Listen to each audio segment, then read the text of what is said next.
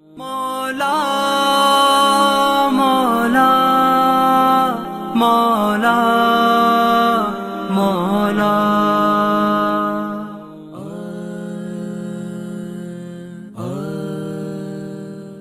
سعودی عرب میں وہ کھانے پینے کی دکانوں کی ایک بہت بڑی چین ہے البیک۔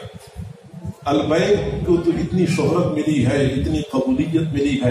ہمارے دوست ہیں، وہ بتا رہے تھے کہ وہ ہوٹلوں کا کام کرتے ہیں مکہ مکرمہ میں۔ تو کہنے لگے، ہمارے پاس حاجی حضرات آتے ہیں۔ تو کہتے ہیں، بیگ رکھتی ہی پوچھتے ہیں کہ البیک کہاں ہے؟ تو کہتے ہیں، میں کہتا ہوں کہ آپ نے لبیک پڑھی ہے یا البیک کے لیے ہم کب پوچھ رہے ہیں؟ آپ لبیک پڑھنے آئے ہیں یا البیک کے لیے آئے ہیں؟ کہتے ہیں، بیگ رکھتی ہی پوچھتے البیک کدھر ہے؟ البیک کا پوچھ رہے ہوتے البیک کو اللہ نے اتنی قبولیت کیوں دی ہے؟ حضرات وہاں پہ گئے ہیں، انہوں نے وہاں دیکھا ہوگا۔ میرا تجربہ تو یہی ہے کہ البیک کے ساتھ والی دکان کا جو ذائقہ ہے، وہی ذائقہ البیک کا ہے، کوئی خاص فرق نہیں ہے۔ لیکن ساتھ والا دکاندار جو ہے، وہ گاہک کا انتظار کر رہا ہوتا ہے۔ البیک کے لیے لمبی قطاریں لگی ہوتی ہیں، وہاں کے لوگ یہ کہتے ہیں کہ جب بندہ قطار میں لگ جاتا ہے تو آدھا گھنٹہ کم از کم گزر جاتا ہے۔ اس سے پہلے پہلے بندے کی باری نہیں آتی۔ لوگ پورا پورا آدھا گھنٹہ کھڑے ہوتے ہیں، انتظار کرتے ہیں، میری باری آئے گی۔ ہم نے کھانے کا سامان خریدنا ہے، وجہ کیا ہے؟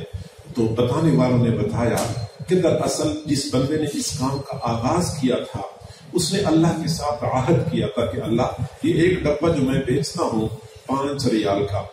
اس میں سے ایک ریال آپ کا ہوگا۔ ایک ریال اللہ کا ہوگا۔ پانچ میں سے ایک ریال اللہ کا۔ یعنی اس نے بیس فیصد کا تعین کیا تھا۔ جتنے ڈبے بکتے تھے، شام کو اتنی ہی ریال وہ اللہ کے نام پہ فقراء اور مساکین کو دے دیا کرتا تھا۔ اور پھر ریٹ بڑھ گیا، چھ ریال ہو گیا، سات ریال ہو گیا۔ اسی حساب سے ایک ریال ان کا ہر ڈبے میں اللہ کے نام پہ الگ ہوتا تھا۔